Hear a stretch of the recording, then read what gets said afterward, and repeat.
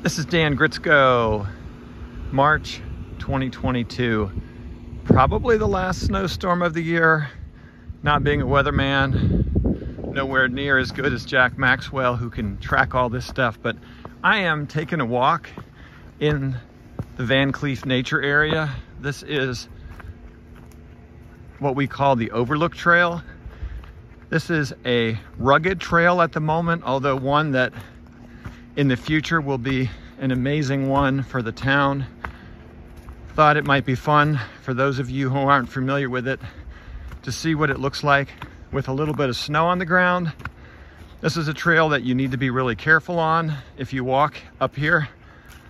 If you're not familiar with it, definitely don't want to do it in the snow like I'm doing right now.